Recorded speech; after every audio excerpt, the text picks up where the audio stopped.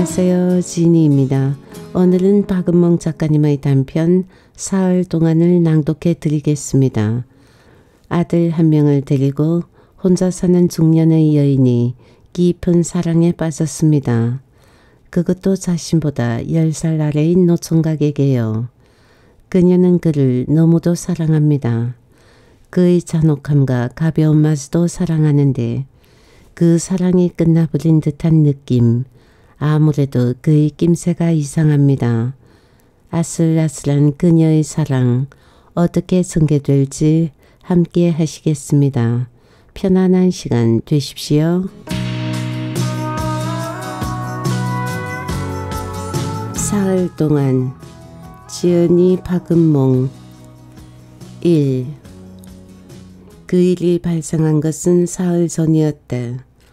금요일 저녁 아들 녀석을 학원까지 태워다 주고 돌아오는 길에 그에게 전화를 건 것이 화근이었다. 성탄절에 함께 외곽으로 나가 아기 자기하고 알록달록한 공예품으로 가득 찬 레스토랑에서 식사를 하고 헤어진 지 며칠 되지도 않았는데 말이다. 나는 좀 더 버텨야 했다. 그가 먼저 전화를 걸어올 때까지 기다려야 했는데 나는 또 그러지 못하고 그의 전화번호를 터치해버리고 말았던 것이다. 서로 연락도 없이 하루하루 시간이 흐르는 적막감을 견딜 수가 없었다. 그 시간의 공백이 우리 사이에 마음의 공백을 만들어 버릴까봐 두려웠던 것이다. 잠깐 오피스텔에 들려도 될까? 커피나 마시고 갈게. 아주 자연스럽고도 일상적인 말이었다. 나는 종종 그렇게 물었고 그는 기다렸다는 듯이 나의 말을 바꿔냈으니까. 그러나 그날은 달랐다. 그는 생각에 잠기는 듯 아니 생각에 잠긴다기보다는 뭔가 하기 어려운 말을 입속에 담은 채 내뱉지 못하는 듯 머뭇거렸다. 1초 1초가 흘렸다. 틀림없이 1초 즈음이었다. 음... 그의 한숨같이 나지막한 숨소리가 들려왔다. 내가 왜라고 묻자 그는 더 이상 뜸을 들일 수 없다는 듯 느린 느린 말했다. 이제 오피스텔에 오는 건 좀 불편해요.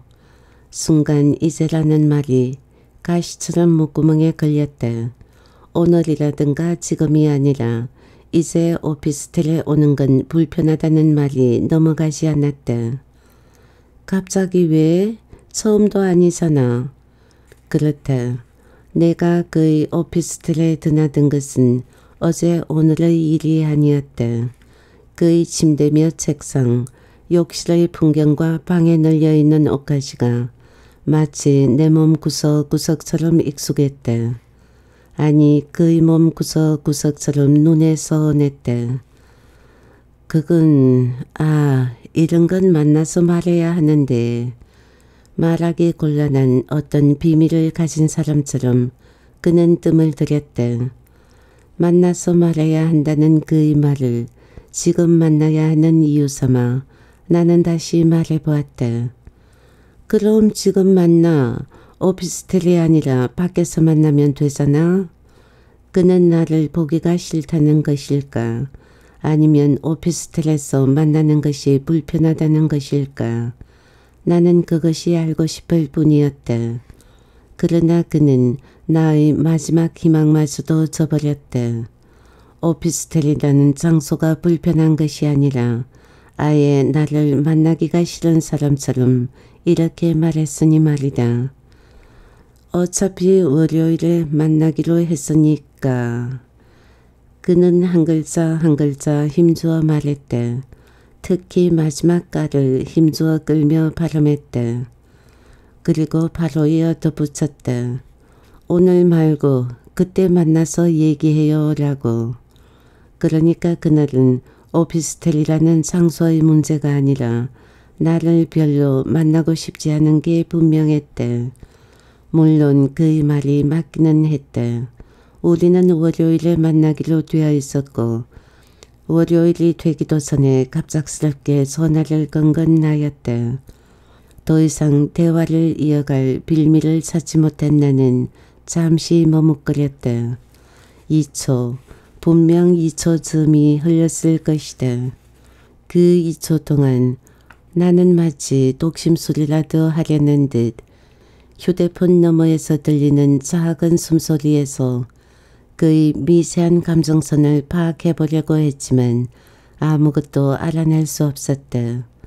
할 말이라는 것이 도대체 무엇인지 왜 갑자기 나를 피하려고 하는지 아무것도 물어보지 못했다. 그저 나는 그의 숨소리만큼이나 기어들어가는 목소리로 이렇게 말할 수 있을 뿐이었다. 알았어. 조금은 울먹였는지도 모른다. 그런 울먹임이 그에게 감춰주기를 바랐다. 동시에 그가 알아채 주기를 바랐다. 그러나 그는 월요일에 보자는 아무런 감정도 담겨있지 않은 담담한 투의 말을 남기고 전화를 끊었다. 그 할 말 사건, 나는 그 일을 할 말 사건이라 부르기로 했다. 그 일이 있었음에도 불구하고 나는 아무 일도 없다는 듯 천천히 차를 몰아 장을 보러 갔다. 저녁 장거리와 아들 여숙을 위한 간식거리 등을 사려고 식료품 관을 둘러보았다. 그런데 식료품 관을 몇 번이고 다시 돌았지만 나의 카트는 계속 비어 있었다. 나는 그와 나의 관계가 어디로 흘러가고 있는지 생각을 정리할 수 없었다. 어수선한 마음으로 카트를 끌고 다니는 동안 분주하게 사람들이 스쳐 지나갔다. 세일 코너에서는 마이크를 든 남자가 10분간 반짝 세일이라고 쩌렁쩌렁한 목소리로 외치며 양념된 주꾸미를 뒤적이고 있었대. 시식 코너에서는 만두가 익어가거나 쫄깃쫄깃한 면발이 뜨거운 물속에서 건져서 채반에 놓이고 있었대. 모든 것이 활기차게 돌아갔지만 그 모든 이미지들은 마치 찰리 채플린이 나오는 흑백 무성 영화 속의 장면들처럼 우스꽝스러우면서도 슬프고 스산하면서도 적막하게 느껴질 뿐이었대. 10여 년 전 헤어진 전 남편은 연애 시절 늘 비디오 방, 당시엔 DVD 방이 흔치 않았으므로 거기에서 나를 기다리곤 했다. 그는 먼저 와서 방을 잡고 영화를 보고 있었는데 언제나 같은 영화였다. 찰리 채플린의 흑백 무성 영화 헐렁한 바지에 커다란 구두, 풍성한 하의와 대소를 이루는 꽉 낀 상의, 그리고 중산모의 시커먼 콧숨을 붙인 찰리 채플린이 언제나 그와 함께 있었다. 웃기지 않아? 그렇게 묻는 그는 조금도 즐거워 보이지 않았다. 찰리 채플린의 희극적이면서도 비극적인 이중적 표정을 닮아 있었다. 헤어지던 날도 그는 여느 때처럼 술에 취해 마치 창녀를 다루듯 나를 유린하더니 이렇게 물었다. 웃기지 않아? 결국 헤어지게 되어 있었다는 거 말이야. 나는 조금도 웃기지 않았다. 그때부터였을까. 나는 이별의 냄새를 맡게 되면 찰리 채플린을 떠올리게 되었다. 아니 주변의 모든 것들이 찰리의 무성 영화처럼 적막하고 우스꽝스러우면서도 슬픔이 밴 이미지로 느껴졌다. 마트의 모든 것들에서 나를 둘러싼 모든 세계에서 이별의 냄새가 났다. 월요일에 만나자는 그 남자는 오늘이 아니라 월요일에 만나자는 그 한마디로 나의 모든 세계를 이별의 냄새로 가득 차게 만들었다. 그의 말은 나의 세계를 좌지우지 않는 힘이 있었다. 이별의 냄새가 가득한 무성영화 속에서 문득 소리 하나가 튀어나왔다. 고객님 이거 원 플러스 원이에요. 들여가세요. 아이들 간식으로 좋아요. 아이들 간식 그렇다. 아무리 제 나이보다 젊어 보인다 해도 나는 아이가 있는 연령의 여자로 보인다. 그것도 젖을 먹는 아기가 아니라 영양 간식을 해줘야 하는 어느 정도 자란 아이. 어려 보이는 동안 피부인데다 몸매 관리를 잘해 군살 하나 없다고 해도 아가씨로 보일 수는 없다. 그런데 월요일의 남자는 아직도 청년이다. 그것이 이 이별의 냄새가 비롯된 원인일까. 헤어진 남편이 알게 된다면 또 물을지 모른다. 웃기지 않아? 그런 어린애를 사랑한다는 게 나는 조금도 웃기지 않았다. 적어도 전 남편이 내가 그의 아이를 임신하고 있을 때 다른 여자와 살림을 차리더니 아이가 태어나자마자 기다렸다는 듯 이혼을 요구하고 세상가를 든 것보다는 웃기지 않는다. 법원에서 마지막으로 만나던 날 백주 대낮에 모텔로 끌고 가 여러 병의 소주를 마셔대더니 억지로 다리를 벌리게 한 일보다는 웃기지 않는다. 나는 거부당했다. 그 청년에게서 이유 따위는 듣지 못했다. 이유는 감히 내가 물을 수 있는 영역이 아니었다. 그는 배려할 줄 모르는 사람이었다. 자기 오피스텔을 제 집 드나들듯이 드나들던 사람을 갑자기 오지 못하게 할 때는 상황에 대해 설명을 해줘야 한다는 것을 그는 알 수 없는 사람이었다. 나는 그저 통보만 받았을 뿐 물어볼 수가 없었다. 거부당했다는 결과만이 내 앞에 있을 뿐이었다. 왜? 라고 물어야 했다. 나에게는 그럴 권리가 있었다. 적어도 우리는 그 정도는 물을 수 있는 관계니까 자신의 마음에 대해서 좀 더 상세하게 나에게 이야기해 줄 의무가 그에게는 있었다. 화가 났다. 화를 내야 한다고 생각했다. 존중받지 못하고 사랑받지 못하는 것에 대해 화가 나야 한다고 스스로를 이렇게 홀대하니까 월요일의 남자 역시 나를 홀대하게 되는 것이라고 그렇게 되뇌어 보았다. 지지직 어디선가 알 수 없는 소리가 들려왔다. 분명 어떤 소리가 들렸는데 나는 돌아볼 수 없었다. 꼬리에 꼬리를 물고 늘어지더니 문 밖으로 나가 뭉크가 절규하는 다리를 건너 멀어져간 나의 의식이 쉽게 돌아오지 않았다. 엄마, 그제야 나는 문 밖으로 나간 의식을 끌어당기며 고개를 들었다. 거실에서 텔레비전을 보던 아들이 다급하게 나를 부르고 있었다. 엄마, 가스불 안 꺼요? 어느새 집에 와서 저녁 식사 준비를 하고 있는 나를 발견했다. 뒤늦게 지지직거리는 소리를 인식한 나는 황급히 가스레인지의 스위치를 돌려 불을 껐다. 찌개의 국물이 다 졸아 냄비의 옹색한 바닥이 다 드러나 있었다. 흥건하던 국물이 다 졸아들 때까지 냄비는 얼마나 아프고 뜨거웠을까.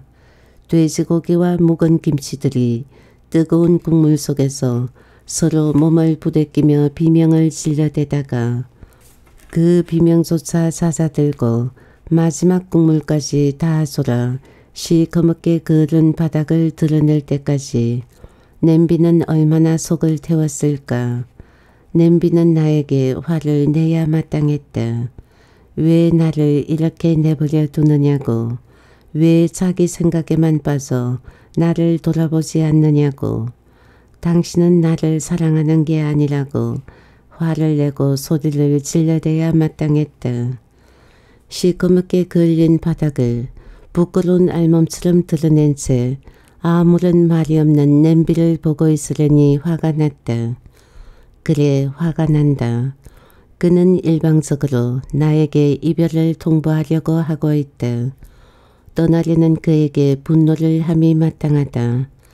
나는 아랫입술을 깨물었다. 그리고 아랫입술에서 억지로라도 미움의 감정을 짜내려고 힘을 주어 보았다. 아, 그런데 한 가지 마음에 걸리는 게 있었다. 바로 월요일에 만나기로 했으니까 할 때의 그의 목소리, 월요일에 만나기로 했으니까 라고 말할 때 그가에는 평소 그에게서 느끼지 못하던 조금은 격한 감성이 스며들어 있는 것 같았다. 왠지 그가가 아니 가에는 슬픔이 묻어 있는 듯도 했다. 뒤이어 내가 알겠어 할 때 그에게 들킬 듯 말 듯한 미세한 울먹임을 숨겨둔 것처럼 그의 가에도 미묘한 울먹임이 배어 있었던 듯하다. 어쩌면 그도 나처럼 자기만이 아는 울먹임을 숨겨두고 내가 알아채주기를 바랐는지도 모른다. 그는 왜 울먹였던 것일까?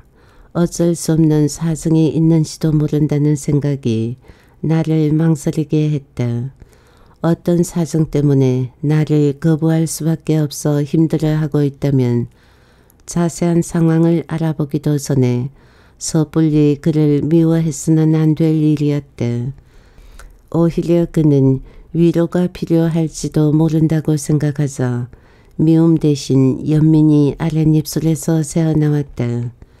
그에게 위로가 필요한 사정이 있을지도 모른다는 생각은 그를 미워함으로써 통절한 감정의 회오리에서 벗어나려든 즉 미움과 분노의 힘으로 소용돌이 치는 슬픔의 감정에서 벗어나려든 나의 의지를 주저앉혀 버렸다. 알고 있었다. 슬픔보다는 미움이나 분노가 더 견디기 쉽다는 것을. 그런데도 나는 그 기회를 놓쳐버렸다. 슬픔의 소용돌이에서 빠져나올 수 있는 기회를 스스로 포기해버린 것이다. 나는 화를 낼 수 없었다. 시커멓게 타버린 감정의 옹색한 바닥을 알몸처럼 부끄럽게 드러낸 채 아무런 말도 할 수 없었다. 그는 왜 나를 피하려고 하는지 설명도 해주지 않는데 내가 오해를 하든지 혹은 상처를 받든지 상관도 하지 않는데 그런데도 그를 미워할 수 없었다. 나는 그의 잔혹한 마수도 사랑한다. 평소처럼 아들과 단둘이서 저녁 식사를 한 후 설거지를 하고 샤워를 했다. 식사를 마친 아들은 방에 들어가 컴퓨터 앞에 앉아 자기만의 세계로 빠져들었다. 아들에게는 아들의 세계가 있고 나에게는 나의 세계가 있었다. 아들의 세계에 내가 들어갈 수 없듯이 나의 세계에 아들도 들어올 수 없었다. 나의 세계는 월요일의 남자로 가득 차 있었다. 샤워를 하고 나와 침대에 누워 다시 생각해보니 월요일에 만나기로 했으니까 할 때의 그 가에 숨어있는 격한 감성은 울먹임이 아니라 난sam인 그 같기도 했다. 이별을 작정한 남자가 상대방 여자에게 갖는 최소한의 미안함이라든가 헤어지자는 말은 하긴 해야겠는데 그 통과 의뢰를 못내 힘들어하는 난처한 말이다. 그렇게 생각하자 또다시 이별의 냄새가 짙어졌다. 나는 잠들 수 없었다. 시간이 남아있었다. 그것도 지구 몇 바퀴라도 돌고 있을 만큼 길게 늘어진 시간. 깊은 밤을 지나 새벽이 될 때까지 나는 지구 둘레를 계속해서 돌고 돌았다. 시간은 흐를수록 더욱더 긴 시간으로 고무줄처럼 늘어나기만 했다. 영원히 끝날 것 같지 않은 끈질긴 시간이었다. 이불 속으로 파고들었다. 그 부드러운 감속이 살갗에 닿았다. 한꺼풀씩 옷을 벗어보았다. 한기가 들었다. 그럴수록 이불 속으로 더 깊이 파고들며 몸을 동그랗게 움츠렸다. 오른손으로 가슴을 쥐어보았다. 몰캉거렸다. 옷을 입고 있을 때는 누나 가슴이 작은 줄 알았어요. 처음 나의 블라우스 속으로 손을 넣으며 포옹하는 날 그가 말했다. 누나 같은 몸이 좋아요. 옷을 입으면 날씬해 보이는데 벗으면 제법 속살이 있는 인석이 드문 곳에서 차를 세우고 사랑을 나누던 날 그가 말했다. 방쯤은 누나에 찍힌다. 그에게는 언제나 내가 누나였다. 그러나 나는 이름이 불리우고 싶었다. 이 꿈속은 성탄절이다. 그와 함께 레스토랑에 앉아있다. 약속 장소에 나올 때부터 그가 입을 꼭 다물고 어색한 미소를 짓던 게 마음에 걸린다. 하지만 모른 채 한다. 평소처럼 웃으며 그를 대한다. 그 역시 평소처럼 나를 대하기 위해 애쓰는 것 같다. 침묵이 자꾸 흐른다. 그와 나 사이에 무언가 고갈된 듯 우리는 할 말을 찾지 못하고 자동차 이야기를 하다가 함께 본 영화 이야기를 하다가 레스토랑의 음식 이야기를 한다. 그와 나 사이에 공백이 자꾸만 커진다. 담담하게 그를 대하려고 애쓴다. 공백을 인정해버리는 순간 그 공백이 사라질 수 없는 기정사실이 될까봐 두렵다. 돌아오는 내 차 안, 대화는 고갈되고 음악만이 흐르는 가운데 공백은 점점 더 분명해진다. 평소처럼 헤어질 때 키스를 하려는 그에게 나는 고개를 돌려버린다. 그 키스마저 공허하게 느껴진다면 더 이상 공백을 부정할 수 없을 것 같았었다. 성탄절에 헤어진 후 그는 연락이 없다. 하루, 이틀, 사흘 나는 초조하다. 이대로 멀어질까봐. 그날 움트기 시작한 공백에 그가 그만 익숙해져 버릴까봐 나는 두렵다. 그래서 나는 전화를 건다. 내 차 정비를 받으러 갈 때 그가 같이 가주기로 한 날은 월요일이었다. 그러나 월요일까지 기다릴 수 없다. 우리 사이를 비집고 들어온 공백을 빨리 떨쳐내고 싶다. 일상적인 웃음과 일상적인 대화 그리고 일상적인 섹스로라도 그러나 그는 월요일의 남자가 되어 나를 거부한다. 차라리 전화를 걸지 않고 기다린다면 공백은 저절로 사라질지도 모르는데 성급한 내가 그 공백을 더욱 가까이로 불러들여 사방에 온통 이별 냄새를 뿌려버린다. 눈을 떴다. 의식이 돌아오는 첫 순간 그가 떠올랐다. 꿈속의 그가 현실의 그에게 자리를 넘겨주었다. 그래서 꿈속에서나 현실 속에서나 그가 있었다. 할말 사건이 일어난 지 이틀째 또 하루라는 시간의 덩어리가 공포로 다가왔다. 각오를 단단히 했다. 감정을 느끼는 감각이 살아나서는 안 되었다. 나는 스스로에게 마취제를 주사한 듯 무표정한 얼굴로 감정을 거세하기 시작했다. 침대에서 일어났다. 몸이 가벼운 종이처럼 무게감이 없다. 신문을 가지러 현관 쪽으로 걸었다. 바닥에 닿는 발이 내 발 같지가 않았다. 현관문은 오렌지색이다. 그리고 오렌지색 현관문 앞에 선 그가 보인다. 그는 구두를 신고 있다. 함께 대화를 나누며 마신 커피의 달달한 향이 아직도 내 입안 가득 고여 있다. 문을 나서려던 그는 문득 나를 돌아보더니 두 팔을 벌린다. 나를 보고 웃는다.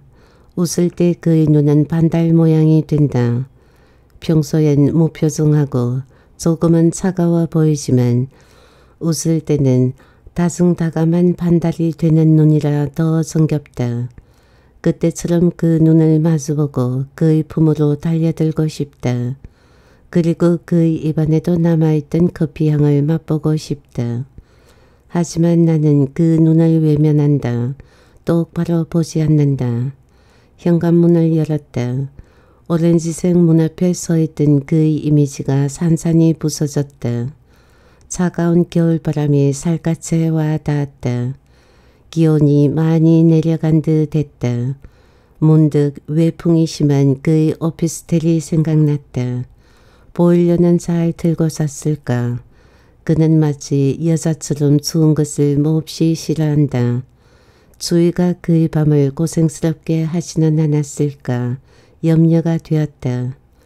그러나 지구 몇 바퀴를 돌고 돈 나의 밤에 비하면 그의 밤은 얼마나 평온한 것인가. 그 사람 생각을 털어내고자 나는 고개를 흔들었다. 사랑한다고 말 좀 해줘. 어느 날인가 그가 나를 품에 안고 미소 지을 때 그때를 기회 삼아 가볍게 때를 쓴 적이 있었다.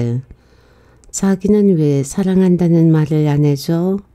장난처럼 딱 장난처럼만 그렇게 물었다. 깃털 하나만큼이라도 낙엽 한 장만큼이라도 무게를 싣는다면 그는 이내 부담스러워할 테니까 그가 말했다. 나는 사랑이라는 단어를 별로 좋아하지 않아요. 혐오증이 있다거나 할까? 혐오증? 그 순간 나도 모르게 깃털만치 혹은 낙엽만치의 무게를 실어버렸다. 나의 표정이 진지해져 버린 것이다. 그러자 그는 나의 몸 위에서 내려오더니 조곤조곤 이야기를 시작했다. 예전에 군대 가기 전부터 사귀던 여자가 있었는데요. 많이 좋아했어요. 서로. 그 애하고는 결혼까지 생각했었는데 자꾸 다투었어요. 군대에 있는 동안 나는 나대로 힘든 시기였고 그 애는 그 애대로 많이 힘든 시기였죠.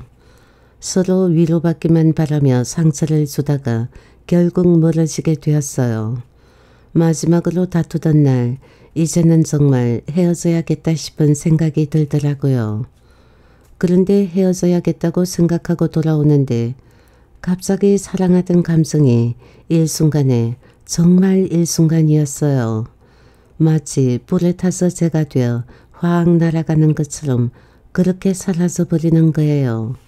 그때 생각했어요. 누군가를 사랑한다는 감성이 별거 아니구나. 그냥 어느 순간인가 제가 되어 날아가 버리는 것이구나 하고 그렇게 사랑했는데 언제 그랬냐는 듯이 한순간에 사라져 버릴 수 있는 거라면 별거 아닌 거잖아요. 그래 그럴지도 모르지. 나는 고개를 주워거렸다. 그 후로 나는 두 번 다시 사랑이라는 단어를 그 앞에서 꺼낼 수가 없었다. 사랑이라는 단어는 나의 심장을 무덤 삼아 꼭꼭 숨어버렸다. 그 단어는 그하고는 전혀 상관없이 나에게만 존재하는 무엇인가가 되어 나의 심장을 가득 채우고 있을 뿐이었다. 나는 신문을 읽어 내려갔다. 신문의 검은 활자만이 유일한 구원이었다. 검은 활자가 조금이나마 나의 뇌리에서 그의 생각을 밀어내 주는 듯이 여겼었다. 그에 대해서 어떠한 생각도 어떠한 감성도 마주보고 싶지 않았다. 그 생각이나 감성의 민낯을 깊이 들여다보거나 적나라하게 덜쳐내고 싶지 않았다. 더 이상 그의 까의 의미가 애성이 담긴 울먹임이었는지 이별 통보를 해야 하는 남자의 난참이었는지에 대해 골몰하지 않게 검은 활자를 뚫어지게 쳐다보았다. 그런데 또 한 가지가 궁금해졌다. 바로 그 할 말 말이다. 나는 묻고 싶었다. 도대체 할 말이라는 게 뭔데? 그는 뭐라고 대답할까? 따지고 보면 까의 의미보다는 할 말의 정체가 더 결정적이었다. 그의 진리는 할 말에 다 응축되어 있을 테니까 이별의 냄새를 풍기는 근원지는 까가 아니라 바로 할 말이었다. 그 할 말은 나를 또 그를 어디로 데리고 가는 것일까. 여기까지 생각이 미치자 어처구니 없게도 할말 사건이 있던 날 하루 종일 나를 괴롭히던 그 까에 대한 집착은 이제 할 말에 옮겨붙어 나를 따라다니기 시작했다. 친구들과 축구를 하러 간다는 아들의 아침 식사를 차리는 동안에도 나를 놓아주지 않았다. 너무 늦지 말라는 상투적인 말로 아들을 배웅한 후 설거지를 하고 청소를 하고 세탁기를 돌리는 동안 내내 그 할 말이 따라 붙었다. 머리를 식히려고 욕실에 들어가 샤워기를 틀었다. 쏟아지는 물줄기 아래에서 고개를 좌우로 마구 흔들어 댔다. 생각의 파편들이 튕겨나가기를 바랐지만 여기저기 물방울들만 튀었을 뿐이다. 생각 조각들이 뇌리에 깊이 각인되어 있어서 도저히 그에 대한 생각을 떨쳐낼 수가 없었다. 난 생각의 감옥에 갇혀버렸다. 설령 세상 끝까지 도망친다고 해도 내가 살아있고 의식이 붙어있는 한 나는 그에 대한 생각에서 벗어날 수 없을 것만 같았다. 그래도 생각이 격정보다는 견디기 쉽다는 것이 유일한 위안이라면 위안이었다. 통절한 감성을 온몸으로 느끼는 것보다는 생각의 감옥에 갇혀 짓눌리는 편이 훨씬 견딜만 하리라. 나는 젖은 머리에 수건을 두르고 나왔다. 베란다에는 빨래가 널려있고 겨울 햇살은 제법 깊게 거실 안으로 들어와 있었다. 하지만 나는 무엇에도 초점을 맞추지 않고 텅 빈 시선으로 주변을 돌아보았다. 내 눈은 비어 있었다. 아무 것에도 시선을 두지 않으면 마음까지 비워져 감정을 억누를 수 있을 것만 같았다. 커피를 타서 하얀 식탁에 앉았다. 그가 앉아있다. 하얀 의자에 앉은 그가 나를 보고 있다. 나도 모르게 시선이 고정된다. 반달 모양의 눈이 보인다. 긋올린 하얀색 셔츠 아래로 힘줄이 조금 튀어나온 그무스름한 그의 팔뚝이 보인다. 그에 비하면 마주한 나의 팔은 백지장처럼 하얗다. 내가 묻는다. 우리 정말 시작해도 될까요? 그가 우리 집을 드나들기 시작할 무렵이었다. 우리 시작해도 될까요? 끝이 너무 뻔한데 분명히 상처받을 텐데 내가 물었다.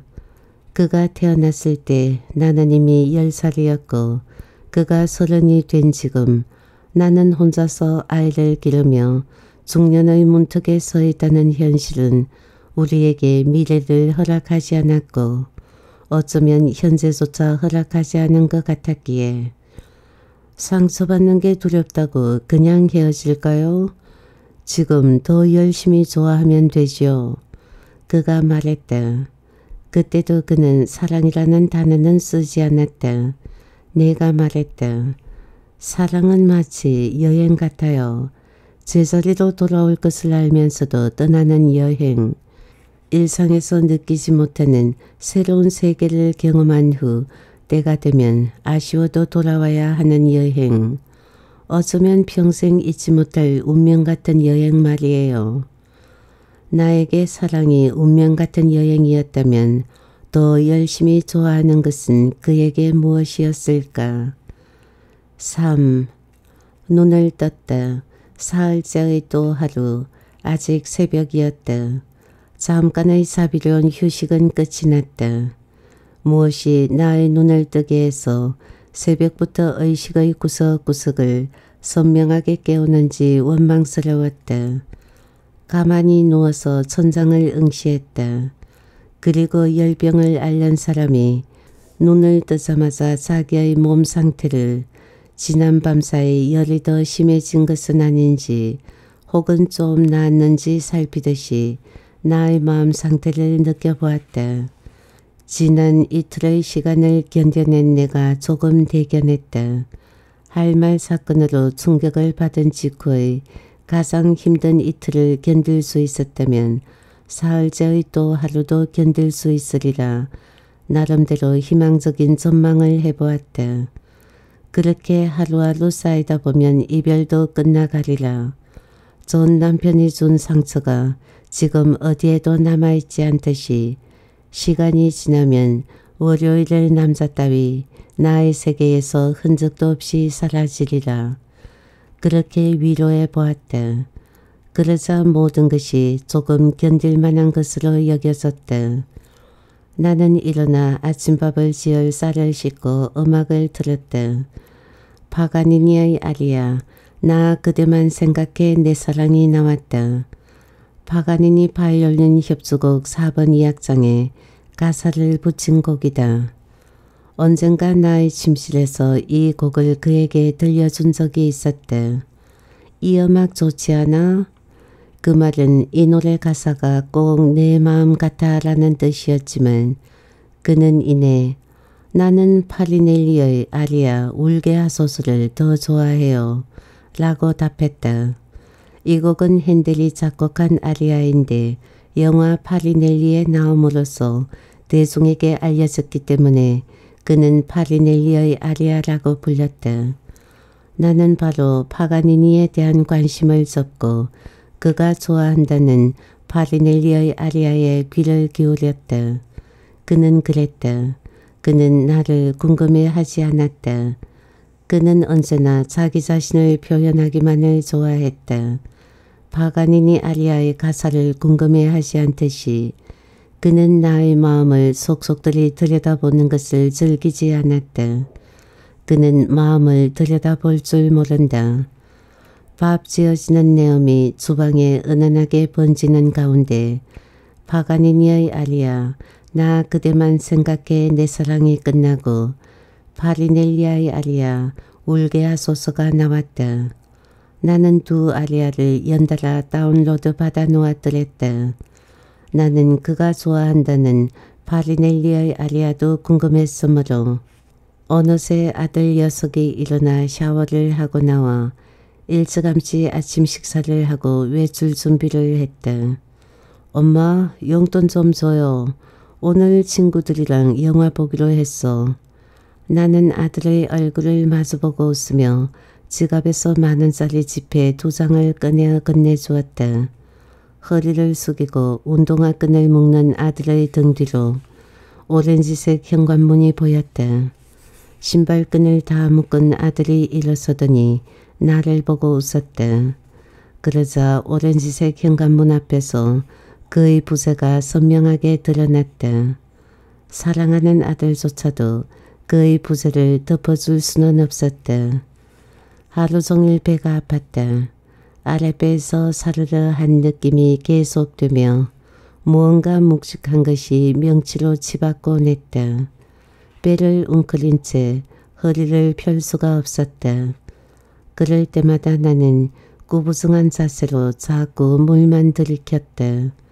시간이 지나자 명치로 집어다 올라오던 그 무엇인가는 이었고 가슴을 타고 목구멍 바로 아래까지 올라왔다.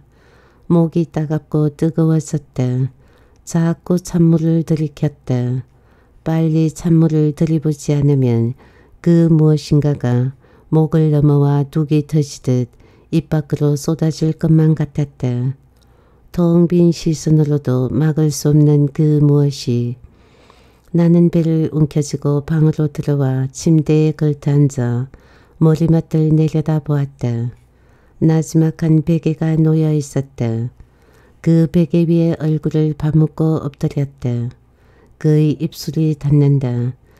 한 손으로 그 베개를 쓰다듬어 보았다. 면도를 하지 않아 까칠한 그의 턱과 가무잡잡한 볼이 닿는다. 내 손이 닿자 그도 나의 머리카락을 쓰다듬기 시작한다. 얼굴을 들어 그를 보았다. 머리카락이 흘러내려 얼굴을 가리자 그가 나의 머리카락을 넘겨준다. 머리카락을 쓸어 넘겨주는 손길은 내 몸의 감각을 아주 부드럽고 은밀하게 깨운다. 그럴 때면 나는 눈을 감고 그의 손에 내 육체를 맡기기 시작한다. 침대에서만큼은 그의 우유부단함도 사라진다. 그의 덤덤함도 존재하지 않는다. 그는 섬세하고 열정적이다. 나의 표정, 나의 나지막한 숨소리, 내 손끝, 아니 발끝의 미세한 움직임까지도 그는 놓치지 않는다. 그리고 내가 무엇을 원하는지에 온 신경을 집중한다. 나의 희열이 절정에 다다른 것을 확인할 때까지 그는 긴장을 풀지 않는다. 침대에서만큼은 나 외의 다른 세계가 그에게 존재하지 않는다. 나는 그의 세계의 전부다. 그러한 집중은 그가 그토록 혐오하는 사랑과 닮았다. 나는 그에게 집중한다. 어린 시절 맛있는 간식을 줄 때면 형이 하나부터 다섯까지 세었다는 말도 멸치볶음을 좋아하지만 그것 하나만으로는 식사하기 힘들다는 것도 기억한다. 어쩌다 두통이 심해서 잠을 못 잔 다음날 아침의 표정까지도 어느 날 갑자기 재채기를 하는 것도 놓치지 않는다. 그러니 나의 집중은 그의 섹스와 닮았다. 다만 다른 점이 있다면 하나는 육체고 하나는 마음에 대한 것이라는 사실이다. 침대에서 그는 묻곤 한다. 어떻게 해주는 게 더 좋아? 그는 침대에서만큼은 마치 동년배의 여자를 대하듯 종종 반말을 한다. 누나라고도 부르지 않는다. 그럴 때면 나는 그를 나의 아래에 눕힌 다음 그의 성기를 찾아 그 위에 얼굴을 파묻는다. 성기의 부드러운 감촉과 나의 몸에 꼭 맞는 그 형태와 엄밀한 재치와 정액까지 나는 들이마신다. 그의 희열은 나의 기쁨이 된다. 혼자서 침대 위에 엎드려 있다가 나도 모르게 이부자락을 움켜쥐었다. 문득 눈을 뜨고 일어나 앉았다. 온몸이 땀에 젖고 흘러내린 셔츠 위로는 어깨가 다 드러나 있었다. 입안이 비릿했다. 어느새 주변이 어둑어둑해지고 있었다. 불을 켜고 화장대의 거울 앞에 앉았다. 옷매무새가 흥크러진 채로 거울 앞에 앉은 나는 조금 바로 전까지 연락에 들떠있던 여자의 모습이었다. 그러나 욕망만을 남겨둔 채 그는 없었다. 부드러운 감촉과 희열에 대한 기억만을 남겨둔 채 그는 어디에도 없었다. 봄이었다. 그와 처음 데이트를 한 날은 이제 막 벚꽃이 흐드러지게 피어나고 눈부시도록 찬란한 봄햇살이 온 세상의 구석구석을 비추기 시작하던 계절이었다. 그를 처음 만나고 돌아온 그 밤에도 나는 거울 앞에 앉았다. 조금 전까지 마주보고 그와 이야기를 나누다 들어왔다는 것이 믿기지 않아 나는 한참 거울 앞에 앉아 있었다. 그 우연한 만남이 한 번으로 끝날지 아니면 알 수 없는 인연의 힘이 봄을 지나 또 다른 계절로까지 우리를 이어줄지 알 수 없어 멍하니 거울 앞에 머물렀다. 한 가지 분명한 것은 봄 햇살 같은 빛이 나를 비추고 있다는 행복감이었다. 즐겁게 해드리고 싶었는데 나만 웃다가 온 것 같아요. 다음에 또 만날 수 있을까요? 그의 메시지가 어쩌면 우리가 봄을 지나 또 다른 계절을 함께 맞을 수 있을지 모른다는 희망을 말해 주었다. 나는 거울을 보았다. 거울 속에는 두 볼이 팔글에 상기된 채 미소 짓고 있는 아름다운 여자가 있었다. 나는 행복했으므로 아름다웠다.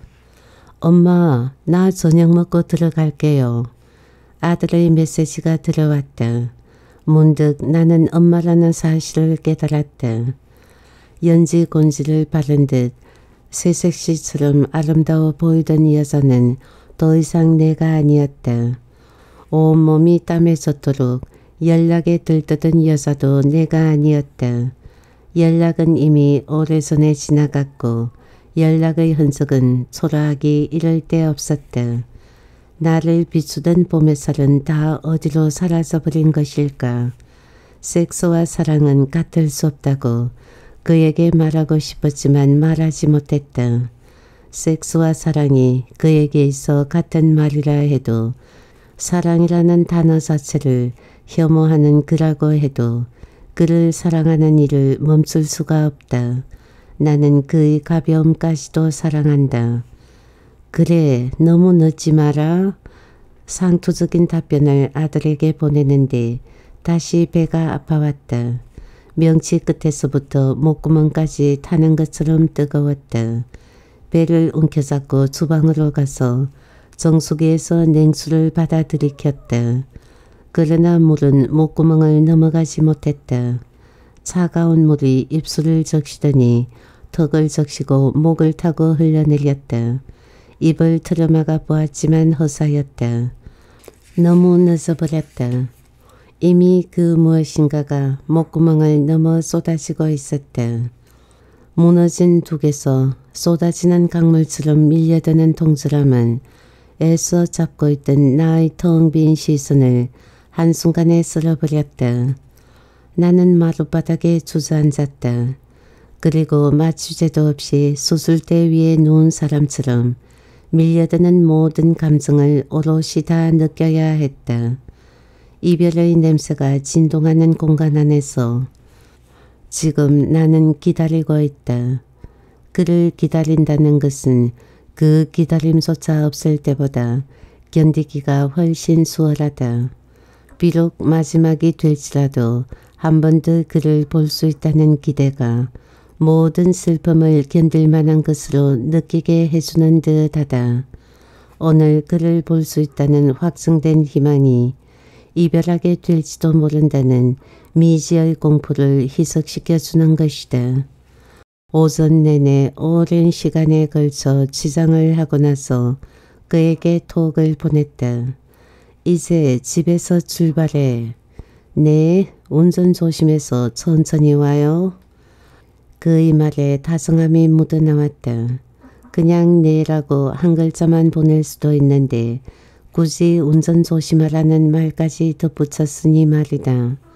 어쩌면 그는 순간적으로 이별을 생각했다가 사흘 동안에 그래 지난 사흘 동안에 마음이 변했을지도 모른다는 일말의 희망을 품어보았다. 그러나 동시에 오늘이 마지막이 될지도 모른다는 긴장감 또한 버리지 못했다. 그가 보인다. 오피스텔 입구에 서 있는 나의 차를 발견하고는 서둘러 다가온다. 드디어 사흘 동안 그토록 궁금해하던 할 말의 정체가 드러날 시간이 다가오고 있다. 나는 그의 할 말을 이해할 수 없을지도 모른다. 내가 그를 이해할 수 없는 것처럼 나는 그를 모른다. 모르는 채로 사랑한다. 하루키 소설 속의 남자는 물었다. 우리가 누군가를 완전히 이해한다는 게 과연 가능할까요?